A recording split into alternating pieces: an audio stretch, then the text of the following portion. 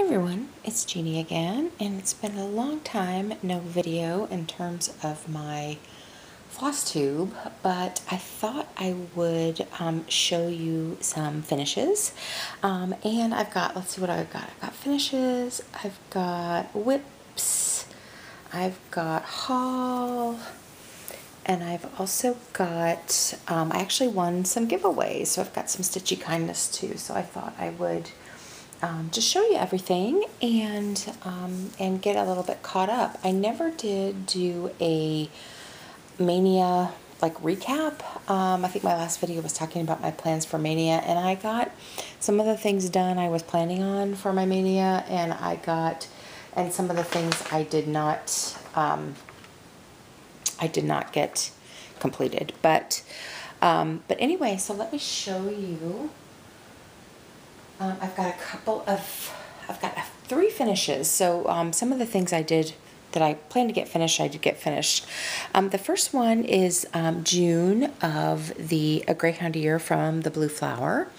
And again, I'm doing these individually on a higher count. This pattern was originally on a 40 count, and if you can see with the borders, they're all together. And I'm doing them individually on 28 count. So here is June. And everything in June, you guys, oh, sorry, is called for, um, except for the linen. I went ahead and and went with a, instead of a natural colored, I think it, I can't remember what it calls for, flax, I think. Um, I went with this um, blue color. So, um, and I've been switching up the fabric on all of them. So, but everything else is called for. I do have some mistakes in this though, you guys. Um, there's supposed to be only um, two, there's supposed to be two open stitches uh, for the Greyhound's belly. And so my Greyhound's a little thicker because I added an extra stitch. And then I missed like two stitches on the watermelon. So my watermelon's a little bit shorter and squatter than what calls for on the pattern. But I decided not to pull it out. I thought it was fine. So um, these are just for me. So um, anyway, uh, so that is my June Greyhound year, and some of my plans, you guys, is to move on and get back on track and start getting them done in the months that they are due. So I will um, start on July here next month. I do think I need to place an order though because I've been buying the um, the floss with you know like three months at a time, and so I need to buy July, August, and September floss. I mean, some of them cross over, but there will probably be a few new ones in those too. So that is my Greyhound year. And then one of my other finishes, you guys, is I finished the the Forever Love from Silver Creek Samplings, and I finished this for my um, for my niece. Let me see. I think I forgot to pull out the picture. Let me grab it because I did make some changes. I changed the fabric. Um, this is uh, an Aida, and it's a kind of a smoky white um, Aida, so it is mottled, but it's like one of those printed uh, mottled fabrics. And I did use all the called for colors, so, and those were all Fancy Floss. And then, uh, but I did, um, here, let me show you um, the pattern let's see. Oh, and let me take it out because I've got some glare. Sorry, I'm not very well prepared. Um, but it has, um, it had on it these, um, these, I think they're supposed to be doves, these birds. Um, but to me, they look like ducks and I, to me, ducks aren't very a very weddingy type of bird. So um, I took out the wedding ducks. Um, they also, you guys, the white. They were called for a a variegated white um, that wasn't going to show up on my lighter fabric. So um, so I and decided to, like I said, to change them because I wasn't crazy about them for this and then also um, didn't think the color would show up. So I opted to, instead of doing the wedding ducks, I opted to um, put in hearts. Because there are already hearts in the piece and I don't know if you can see, if you can catch that but I used a um, kind of a champagne gold Kreinik. So they are they shimmer a little bit. And then down here in the um, in their initials, I decided to use the light pink that's in the flowers in their initials. And you guys, it's it's pretty subtle. I mean, looks like it's showing up pretty well here on camera, but it's it's pretty subtle. Um, but since I hadn't used white in anything, I didn't want to introduce another color, so I went with the pink. And then I also did, and I thought that I talked about, I toyed with the idea of doing the dark brown, but I thought it was too harsh. It made it everything too dark. But then for the wedding rings here, again, I used the metallic thread and I changed this little heart to also a metallic heart thread. So I'm really, really, overall, I'm really happy how it came out. I think it looks really pretty.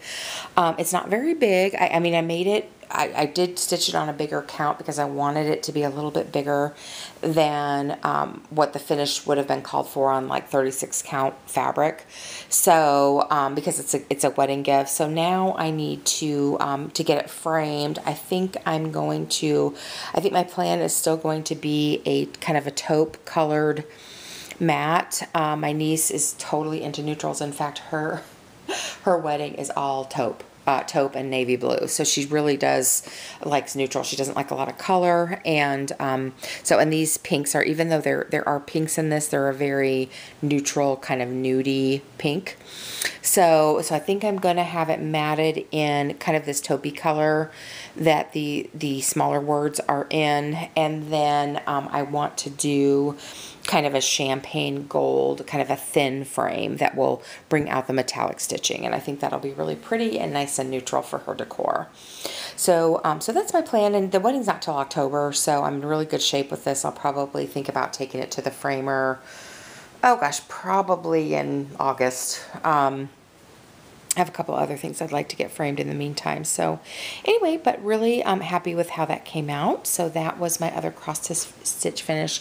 And you guys, while I'm talking about finishing, I hope you don't mind. I will show you um, that I did, I've been doing some felt applique and I did um, finish up my, my husband's, sorry, I'm trying to, I'm trying to zoom out and my camera is a touch screen and it's pretty um, it's pretty old. But anyway so and in my last video I showed you that I was still working on on appliquing these um, you know 30 35 year old stockings. Um, so anyway so I I did make up this little drum from that Bucilla stocking kit. Um, I did that. I appliqued on what was already here. These originally had been glued and then I took off some of these things and um, for the tree, I went ahead and sewed the um, sewed on the sequins and I put a new bell at the top of the tree.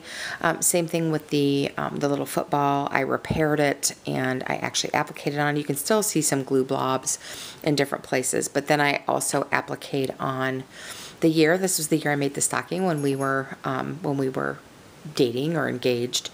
Um, and then, because we got married in 1987, and then um, this is the border that my mom crocheted um, for um, the top of all the stockings. And so I ended up doing, just kind of doing a whip stitch and sewing this back on. And they were, this was falling off and they were in really rough shape. And if you go back on my videos, you can kind of see what it looked like to begin with. So, um, so I did complete that and I was really happy to complete that. I have started on my son's um, I'm doing his next, the repair for his next, but I haven't um, done a whole lot on that. There's really not much to show.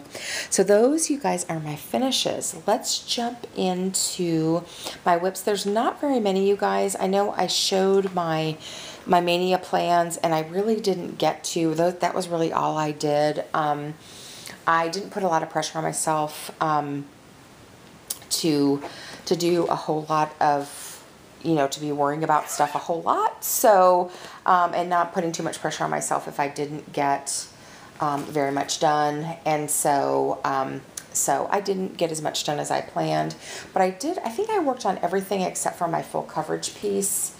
Um, but I, and here's what I got done. The other thing, one of my, my other weeks in Stitchthania was working on my Dragon of the Deeps from um, Dragon Dreams cross stitch let me show you the picture or the preview. So this is what it looks like. It's a mermaid and a dragon, which is um, my, I, you know, I always make whether it's paper crafting or cross stitch. I make dragons for my son and mermaids for my daughter. So when I saw this pattern, I'm like, I absolutely have to do this. And my plan was to get this whole top border done. Well, you can see I didn't I didn't get very far, but I did get um, the back stitching done in the shells, and I did get started on the um, the Caron water lilies on the waves. Not very far but that's a silk thread which I love love stitching with silk. So but again I'm still really struggling you guys to get very much stitching done with my kittens. So um, if you guys have any tips for me let me know. But as soon as it's like as soon as I get my stitching out they know and they are you know all up in my business while I'm trying to stitch so I did work on that for um, for one of the weeks and then my other plan was to work on, the last week was to work on my Realist Wave. And I'm sorry, this is, there's quite a bit of glare on this, but this is my only full coverage piece that I have going at the moment. And I was going to um, work on this for the fourth week, and I never did get to it, you guys.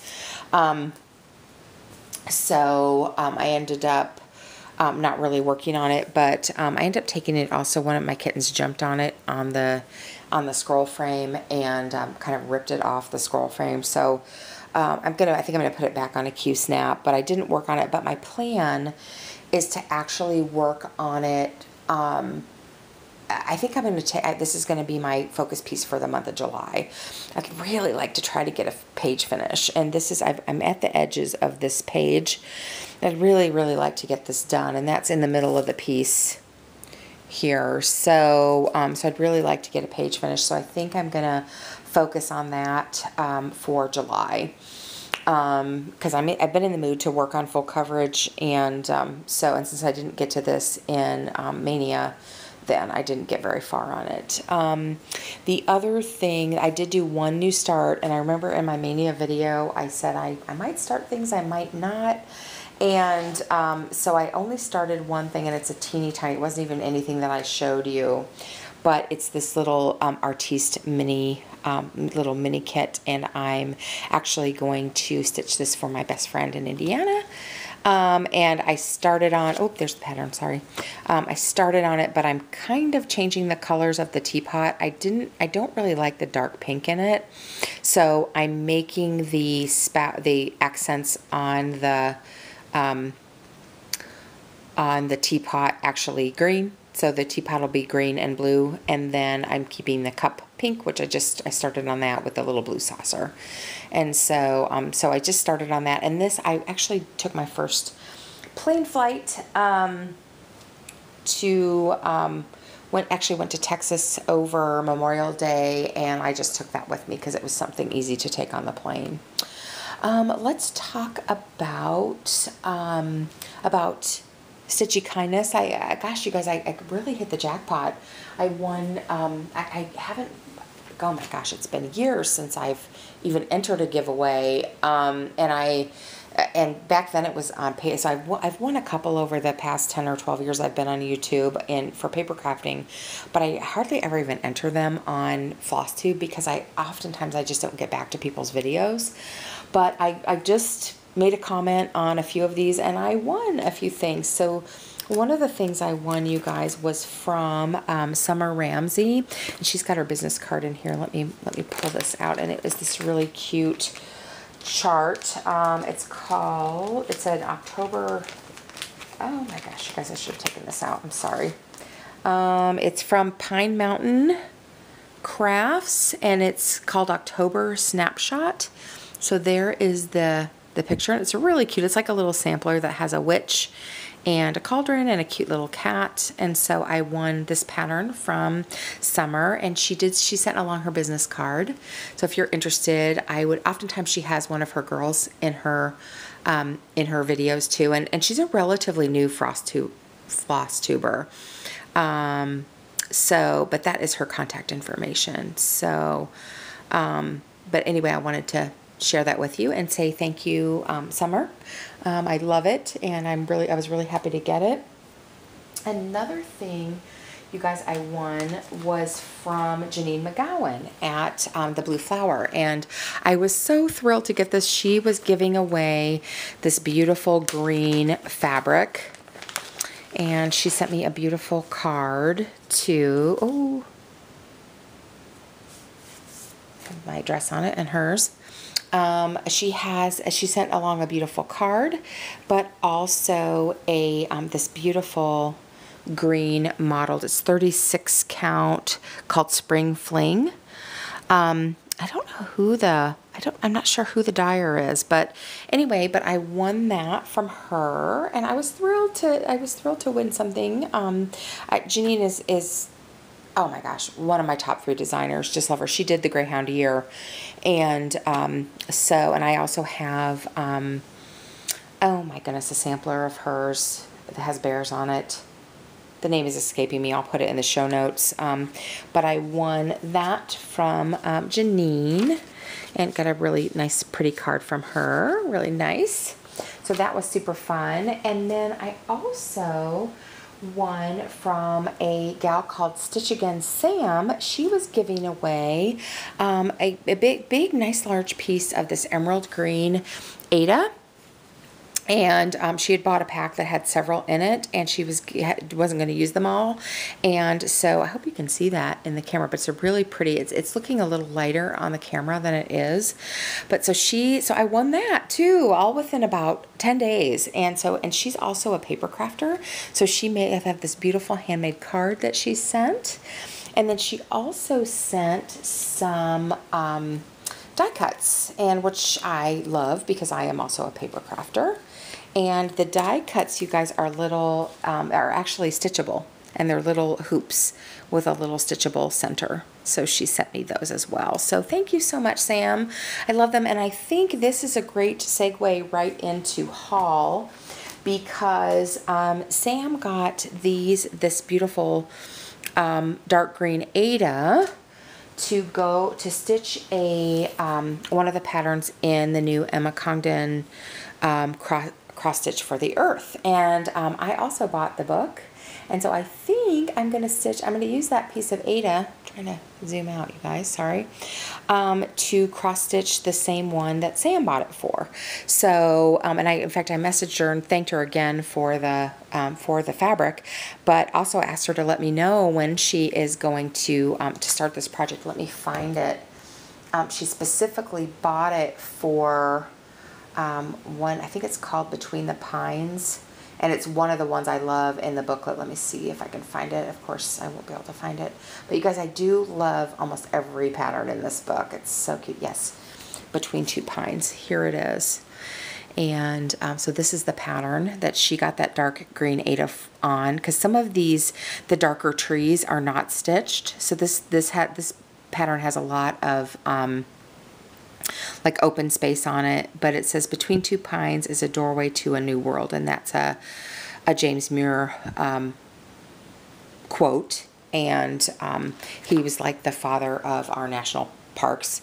So um, anyway, so I think I'm going to stitch, since I, I won that fabric from Sam, I'm going to stitch that pattern on that fabric eventually. I don't know exactly when, but those were my, um, those were my, uh, winnings um, and Stitchy Kindness that I got. So thank you to all of the people who are doing giveaways and, um, you know, like I said, chose me to be the winner. So that's great. So um, I also have some other haul. I guess I have kind of a lot of haul. Um, I, I splurged on a few things and um, and stuff. But um, but one of the little things I got when I had to go to Joann's, I actually went to Joann's and I kitted up or I got all the floss that I needed for um, the Be Well and Stitch um, Satsuma Street, um, Let's Stay Home. And so I have that. I was gonna, I was thinking about starting that for Maynia and then I just didn't get around to it. And that is one that's downloaded on my tablet. So um, it wasn't one that was real easy to take on the plane. Um, when I traveled, so I didn't get it started, and that was the week that I would have started it. But anyway, um, so when I was there, um, they had this little kit. It was, I think, it was even on sale. But my daughter has wanted me to um, to stitch her a fairy, and I just thought this. I don't know if I'll, if and when I'll do this one, but I thought it was cute. It was even a percentage off of $3.99, and I thought she was pretty cute, and I like the colors in it. So um, I don't know who, I don't know who whose kit this is. Oh, it's a De Design Works. Oh, and it's a Joan Elliott. I didn't even know that, but the pattern is, is a Joan Elliott. So anyway, pretty cute. Um, then I'm getting back to talking about doing a fairy for my daughter. Um, I, you know, I had done, uh, if you've been watching my floss tube for any length of time, you will know that I did a Nora Corbett mermaid for her. And I, but I also bought a, I bought a, um, fairy kit that I thought I might do for her. And then the more I thought about it, the more I thought I really want to do a, I want to do another Nora Corbett design for her, for her fairy. And I saw somebody, I wish I could remember who it was, that had recently finished this one. This one is the Petal Fairy. And I just love the colors in it. I love the flower. Um, and I just thought it, I love her pose, I love her face, everything about it. So I decided that this was the fairy that I wanted to do um, for my daughter. It doesn't, it has a couple of beads, not very many. So I went ahead from 123 Stitch and bought the pattern, the beads, and then it calls for 32 count natural linen. And so I went ahead and bought the fabric for it too. So I'm going to stitch it on the call for. I think everything else is DMC, I think. Oh, there's some Kreinik. Um, but I think it might be a Kreinik that's discontinued, so I'll have to look and see.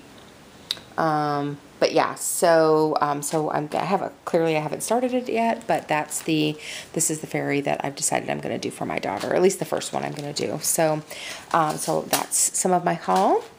Um, I also, you guys, I'm, I'm kind of on this kick of wanting to do at least one piece by um, certain kind of popular or um, or kind of staple designers. And so I'm kind of glad to know that other fairies at Joan Elliott because I'd really like to do a Joan Elliott piece. I really want to do a Joan Elliott dragon, but you know, she's not selling those anymore, so they're kind of hard to come by. So I don't know that I'll ever get a chance to do that, but I um, might do one of her fancy ladies or maybe just this fairy. Um, but the, another one I want to do, you guys, is a Paula Vaughan. And so I actually saw this kit on Amazon. And these, you know, Paula's Paula's are kind of, for, to some people, consider them kind of dated. But for me, um, I this this kit really spoke to me because um, not only was my mom an avid quilter, but she um, also I have some from my great grandmother that are this wedding ring. Um, pattern that are made out of all the scraps of my mom's clothing when she was a little girl. So, um, so I went ahead. This is um, a kit um, designs for the needle. Um, it's called Pink Ribbon, and like I said, it's designed by Paula Vaughan. So I went ahead and got that. I don't know when I'll start it, but I just wanted to, I just eventually I'd like to have a piece by Paula Vaughan. So, and this one, like I said, looks like the quilts that I have, my antique quilts that I have. So I got that one. And then I also, another thing, which I haven't started this yet, this is actually a stitch along that's going on right now on the, um, uh, from the Fat Quarter Shop, um, and it's called Flea Market Flowers. And this one, you guys also really spoke to me. I don't, um, I don't want to say I don't like the, the, um, the Fat Quarter Shop designs because I usually really like them, but I've never been, because they're really colorful and they're not real complicated. Um, but I hadn't been real, um, I, had, I just hadn't seen any of their stitch alongs or any of their patterns that I was like, oh yeah, I really, really need to stitch that or I, I want to go ahead and get that. This one, however, I am in love with the colors in this. And it's all DMC, um, super, super pretty. And so I, I thought, um, I'm going to go ahead and get that. And I'm not, um, I, there, there's a stitch along going on on it right now, but I'm not doing that, doing it as a stitch along because I wasn't really ready to start it. And I think I said in my last video, I wasn't really in the mood to start things and I'm still not. I still kind of want to stitch on my WIP. So I'm not putting any pressure on myself, but I did go ahead and get the pattern I would have bought the floss pack, but they were sold out. So I just went and got the floss at Hobby Lobby. And then I did, but I did go ahead and get the vintage cloth um, to, and this is 28 count Lugana. And I'm actually thinking I'm going to do this, and it's on barley. And I'm actually, um, the Stitchin' Mommy Sarah, she's doing it one over one. And I might do that because it's otherwise it's going to be pretty huge. But I don't know. I haven't decided yet, but I'm, I'm sort of considering that maybe I will do that, do it one over one. Um, on 28 count. And then um, I also bought, ever, so many people are raving about the Linda cloth. And so I decided just to try it. So I just bought one piece of it. This is in the, it's 100% cotton, 27 count Linda. And I bought it in this Whisper, which is a light gray. And I, I do like the feel of it. I think, I think I am going to like it. So I went ahead and just purchased that when I was purchasing from the Fat Quarter Shop. So I got that. So that was part of my haul. And then you guys, my big splurge, let me zoom out here is, I don't know if you have seen the new pattern. It's a collaboration between um, Lindy Stitches and the Blue Flower. So it's Stephanie Webb and Janine McGowan, and um, they put together a collaboration. And Stephanie on her website was selling it as a kit that had the this really cute project bag. So um, super cute, and I'm trying to think of who made the project bag.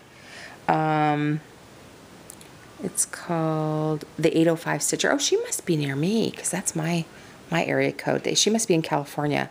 The 805 Stitcher. So she made this bag with this super cute whales on it.